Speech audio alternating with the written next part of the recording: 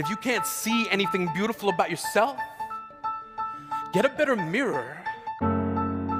Look a little closer, stare a little longer. Because there's something inside you that made you keep trying despite everyone who told you to quit.